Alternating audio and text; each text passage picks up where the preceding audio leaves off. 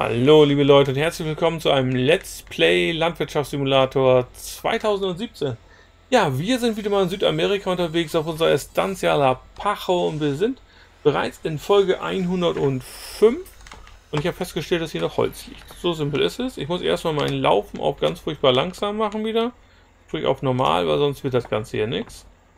Kann ich sicherheitshalber noch ein paar bisschen Holz reinmachen, dass noch ein paar Paletten wieder gemacht werden hier. So. Das hat 1000 Holz gebracht. Das ist ziemlich beeindruckend, muss ich sagen. Und wir werden aber bei Gelegenheit dann nochmal ein bisschen Holz nachmachen. Ich werde das jetzt erstmal hier reinschmeißen. Ups. Gucken, ob ich es auch mitkriege anscheinend. Ja, nehmen wir den zuerst. Der liegt ein bisschen davor. Okay. Ich würfel mal ein bisschen rum mit dem Holz.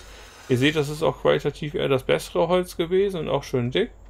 Deswegen hat das auch gute Quoten. Das waren ja schon 2600 Holz durch so kleine Stumpen. Also es muss echt gutes Holz gewesen sein. So. Ich bringe jetzt die fünf Stumpen einfach mal rein. Weil die Bienenstock-Geschichte lief ja noch. Jetzt haben wir da 4000 Holz. So kriegen wir auf jeden Fall noch Paletten nach, auch wenn wir sie gar nicht so akut gerade brauchen.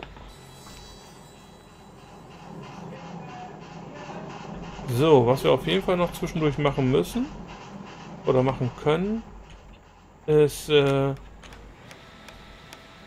Wasser in die Nudelfabrik bringen. Weil da muss nämlich Wasser rein, aber die brauchen gar keine Paletten zum Beispiel. Ist auch nicht schlecht, ne? So, 7100 und ein paar Zerquetsche sind die schon wieder drin. Ich würde sagen, das passt. Ich mache ihn ein bisschen schneller, aber jetzt machen wir erstmal unsere Reibach-Geschichte. Wir wollten ja eine Runde äh, Treibstoff verkaufen. Darum ging's. Und deswegen fahren wir jetzt auch mal eine Runde hier hin. Wir werden eben dieses tun. Ich weiß gar nicht, ob man hier überhaupt sauber ranfahren kann. Ja. Nicht so einfach, wackelt ein bisschen. Aber wir füllen uns bereits. Wunderbar. Ja, dann müssen wir dann doch nochmal mit dem Wassertank los, aber auch das ist kein Problem. Das kriegen wir hin.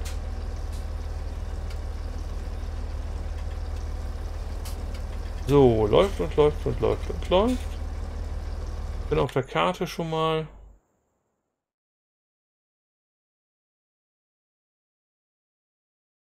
Dieselverkauf. Marker setzen. So, hier wissen wir auch wenigstens, wo wir hin muss, ne? Dahin. Da können wir schön über unsere Feldgeschichte hinfahren, glaube ich. So, gut. Weiter geht's.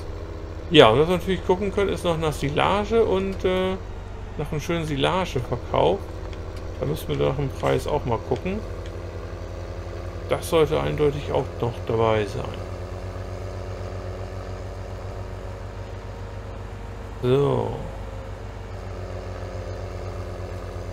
Hier schön den Berg hoch. Hier einfach schön links abbiegen. Dann unserer 15 vorbei.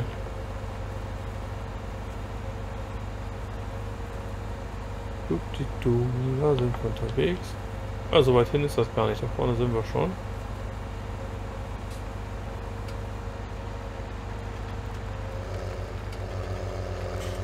So.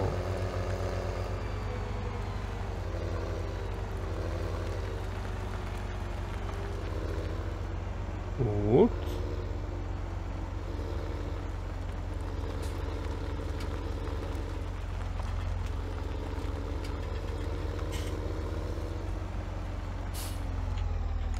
So, und jetzt kommt das Geld rein. So simpel ist es. Derzeit, wo hier das Geld reinkommt, gehen wir nicht mal hin und gucken, wie es jetzt um die Silage geschehen ist, sozusagen.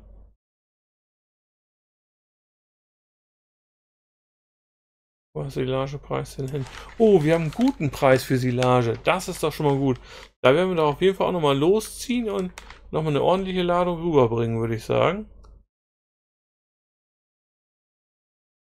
Das ist doch schon mal sehr gut.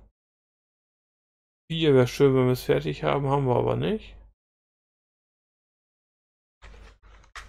Und Honigmilchpreis ist auch dahin. Und der Nudelpreis ist gut. Also gar nicht mal so schlecht. Und wir haben jetzt oh, 74.000 eingenommen. Das ist natürlich auch super. Da sind wir schon bei 600.000, die wir wieder auf der Kante haben.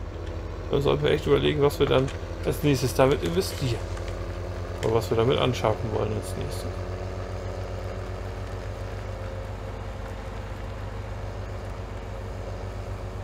So, und schon jetzt wieder zurück.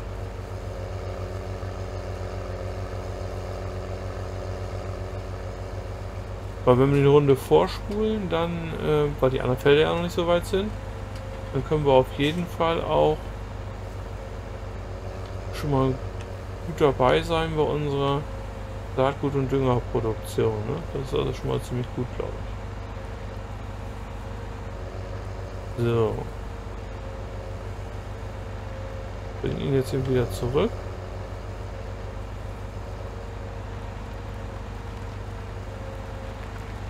Ja, Silageverkauf und Wasser liefern. Das sind jetzt die beiden Punkte noch.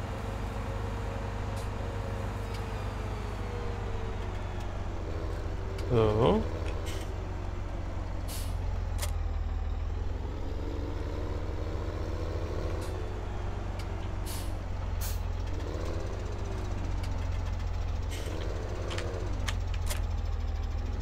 Da sind wir bei Wasser.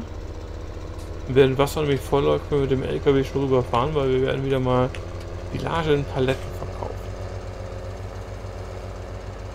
Ne, er kann es transportieren und deswegen transportieren wir es damit auch. So simpel ist es. So, in hier fahren wir jetzt einmal zur Wassergeschichte.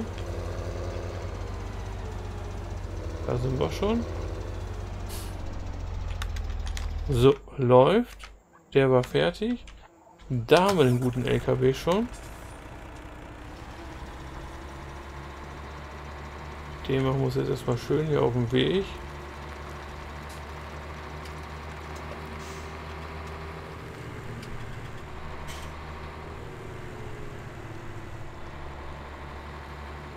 nehmen hier auf der anderen Seite nämlich hier die Silage mit. Jo, das geht schön schnell, wie ihr seht. Das geht palettenweise rüber. Jetzt müssen wir natürlich gucken, wie schnell der Preis einsackt, weil sonst könnten wir vielleicht sogar zwei Ladungen rüberbringen, was ja eindeutig was hätte, muss man sagen.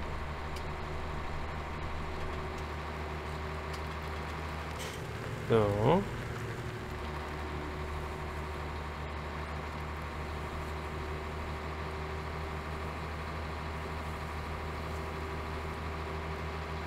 Gut.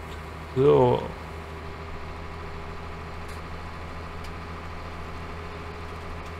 Einmal zum Heilskraftwerk. Und dann gibt schon wieder gutes Geld. Gerade machen wir gutes Geld, kann man ja das sagen. Keine Ausgaben. Momentan steht sonst alles. Seit Fahrzeugenproduktionen laufen natürlich, Saatgut läuft, Dünger läuft. Das ist okay. Hier wir nicht ganz so schnell über hin. So, hier müssen wir schon abbiegen. Hier muss man mal ein bisschen gucken, wo man den Abladepunkt kriegt.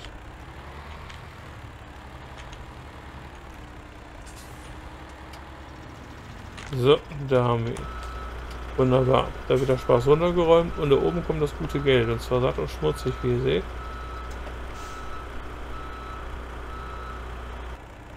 Fast 100.000 eingebracht. Das ist doch mal cool. Und das war gerade mal 20% von unserem Bestand. Ich fahre jetzt wieder zurück mit ihm und dann gucken wir mal, wie der Preis abgesackt ist oder wie weiter runter ist. Vielleicht verkaufen wir auch gleich noch eine Ladung. Weil das ist ja echt ordentlich Geld, was wir hier reinkriegen. Ne? Kann ich auch sagen.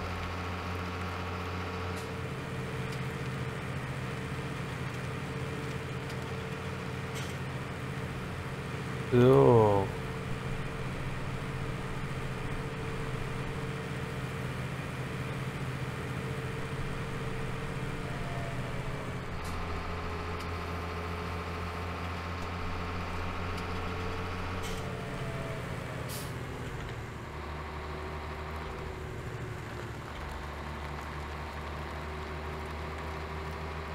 Ich fahre ich da mal andersrum hin. Obwohl, wir können natürlich jetzt erstmal gucken. Wie weit hat sie denn gebeutelt den Preis? Ja. 1346 ist natürlich jetzt kein Traum mehr, muss ich sagen. Ne? Also bei, bei 1450, 15 hätte ich gesagt, wir machen noch eine Ladung, aber ich glaube, so lassen wir es sogar erst.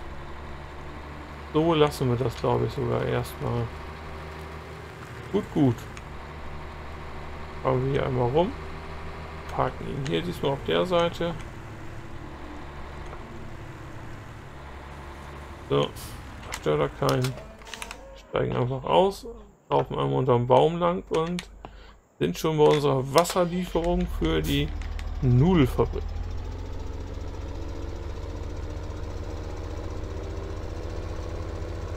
Ich weiß jetzt nicht, wie gut oder schlecht ich da hinten rankomme. Überlegen, ob ich zuerst die Schaufel eben abmache. Ich glaube, das ist sinnvoll.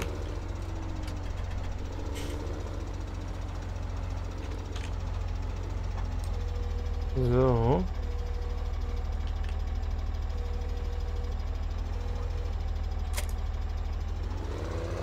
Fahren wir jetzt die gleiche Spur wieder zurück. Hallo, warum haben sie jetzt mitgeschlurrt? Was soll der Quatsch denn? Boah, manchmal hasse ich das, ne? Nichts gemacht. Gerade zurückgefahren zuerst. So, wieder ran. Hin. So.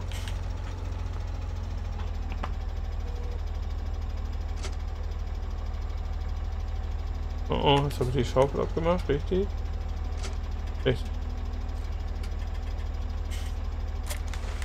Ja, äh, falls, äh, ich habe es letztes Mal ja erwähnt, warum ist Estancia da Pacho eine der Möglichkeiten, dass es äh, vielleicht erst mal zu einem Stillstand kommt? Ja, die Sache ist ganz einfach. Wenn, äh, ihr habt ja mal ein Video vielleicht gesehen mit den Vorabgeschichten, was den neuen Landwirtschaftssimulator angeht, den 2019er, der dieses Jahr kommt. Da sind ja schon einige Infos bekannt, die habe ich ja dementsprechend auch in einem Video verfasst. Falls ihr es noch nicht gesehen habt, solltet ihr das bei mir auf dem Kanal auf jeden Fall finden. Und äh, dann könnte man natürlich dann sagen, äh, die Estancia Lapacho kommt da wieder. Wir kriegen ja eine neue Grafik-Engine. Und äh, dann wird diese äh, Lapacho nochmal wiederkommen. Und zwar in einer sehr aufgehübschten, besseren äh, Version. Und dann könnte man sich die natürlich dann nochmal angucken. Ne? Das ist der Grund, warum ich mit dem Gedanken spiele, ähm, sie hier erstmal sozusagen auf Eis zu legen. Der andere Punkt an der Geschichte ist, ähm, es wird dann schwieriger sein, weil wir natürlich für den 2019er natürlich dann auch erstmal die Mods haben müssen. Aber wie gesagt, sie ist halt eine von den dreien, äh, von den drei neuen Karten. Es wird eine amerikanische Karte geben im 2019er, eine europäische Karte und eine südamerikanische Karte, was halt diese hier ist.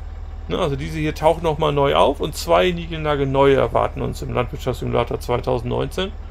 Und äh, ja, deswegen ist halt der Gedanke zu gucken, was macht man und äh, schaut man sich die dann nochmal an, weil wir haben natürlich jetzt, dadurch, dass wir hier schon über 100 Folgen gemacht haben, einen sehr guten Vergleich. Ne?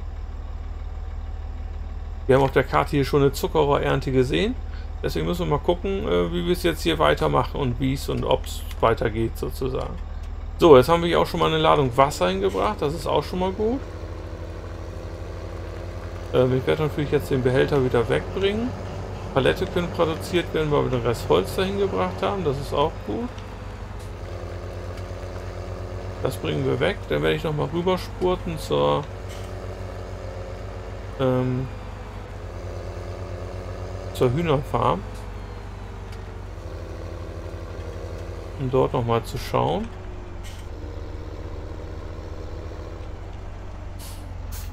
So, ich lasse ihn jetzt erstmal kurz hier stehen steige aus, weil ich habe ja schnelles Laufen. Hilft natürlich bei Zäunen nicht so unbedingt. Wir machen jetzt mal schön kleinen Wald und Wiesen ran hier. So, können natürlich mal gucken hier, wie sieht es denn hier aus? Unsere erste Ernte ist hier reingekommen. Raps, 9000 Liter ist noch am Start, das ist doch schon mal okay.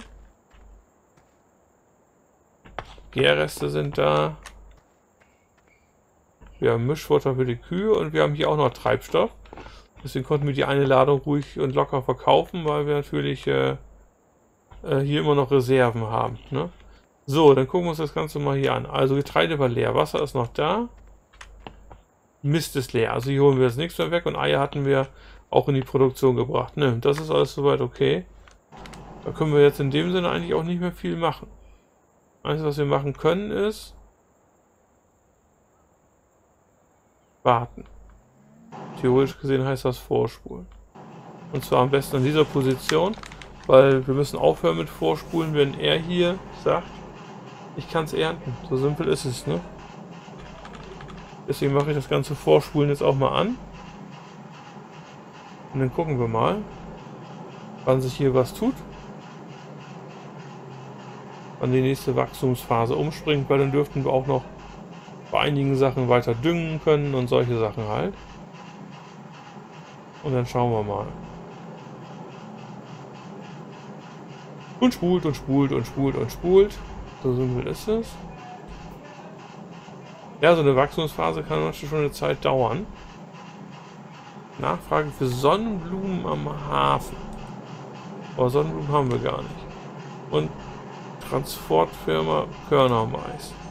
So, das können wir natürlich mal einmal angucken, was die Preislichter bieten. Da sehen wir die Sachen. Der Preis ist geht so und Mais ist exorbitant gut. Aber äh, das werden wir uns in meiner nächsten Folge überlegen. So simpel ist es. Ja, ich hoffe, dass es euch gefallen hat. Würde mich sehr freuen, wenn ihr beim nächsten Mal wieder mit dabei sein würdet. Äh, wie gesagt, lasst einen passenden Daumen dementsprechend da. Äh, ich bin überlegen, ob wir die Estancia Apache in eine Pause schicken, weil sie halt auch im neuen Landwirtschaftssimulator wieder mit dabei ist und wir sie uns dann da nochmal neu angucken könnten mit einer neuen Grafik-Engine, mit allem drum und dran.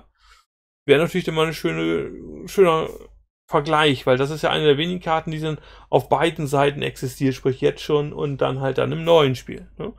Ja, dann sage ich wieder, vielen Dank für all die, die mich schon die ganze Zeit unterstützen. Vielen Dank für die, die es jetzt tun und dann, äh, ja, Abo dalassen. Es geht immer noch um die äh, Quoten, die leider YouTube jetzt von uns verlangt. Hoffe, dass ihr mich da unterstützt und bis zum nächsten Mal.